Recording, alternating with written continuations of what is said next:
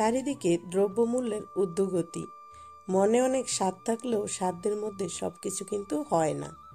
তো দ্রব্যমূল্যের এই ঊর্ধ্বগতির সময়ে যদি মাছ মাংসের স্বাদকে হার মানানো একটি রেসিপি সবজি দিয়ে করা যায়, তাহলে মন্দ কী? আসসালামু আলাইকুম এভরিওয়ান সবাইকে আবারও স্বাগতম জানাচ্ছি নতুন আরও একটি রেসিপি দেখার জন্য।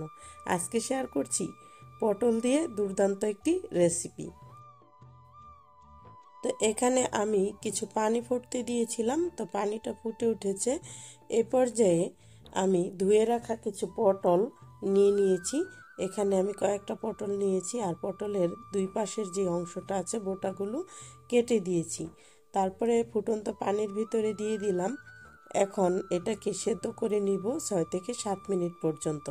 তো আমি সাথে দিয়ে দিব কয়েকটা আস্ত শুকনা মরিচ। তো মরিচটাও নরম হবে পটলের সাথে সেই জন্য। তো হয়ে গিয়েছে ছয় সাত মিনিট, পটলটা কিন্তু সেদ্ধ হয়ে গিয়েছে। এ পর্যায়ে আমি তুলে নিচ্ছি পানি থেকে। আর এই রেসিপিটা এতটাই মজাদার হয় যেটা আপনারা তৈরি করে না খেলে বুঝতে পারবেন না। তো আমি আরও কয়েকবার তৈরি করেছি, অনেক মজাদার হয়। তো আশা করছি আপনারাও ট্রাই করবেন।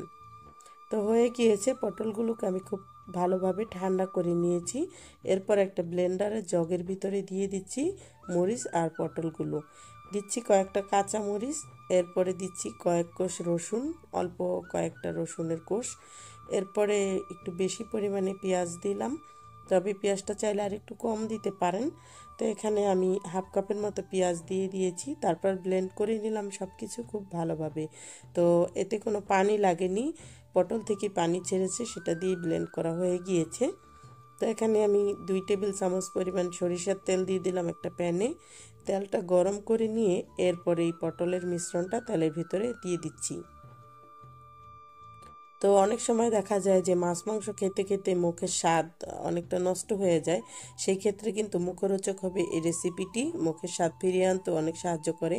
আমরা বাংলাদেশের থেকে আসার পরে আসলে কেমন যেন একটা বিষাদে ভুগছিলাম। তো এই রেসিপিটা আসলেই ভালো লেগেছে।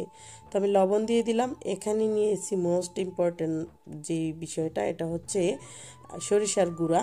তো আমি নর্মাল সরিষাকেই একদম গ্রাইন্ডারে ভেঙে পাউডার করে নিই আমি রেসিপিতে ব্যবহারের সুবিধার্থে। তো আপনারা সরিষা বাটাও দিতে পারেন, একই কাজ করবে। আর সরিষা বাটা বা সরিষার পাউডারটা অবশ্যই দিবেন। তো এখন ভাজা ভাজা করে নিব যতক্ষণ পর্যন্ত ভাজা ভাজা না হয়। এই যে যখন প্যানের গা ছেড়ে আসবে এরকম শুকনো শুকনো টাইপের হবে, তখন কিন্তু এই রান্নাটা কমপ্লিট হয়ে যাবে।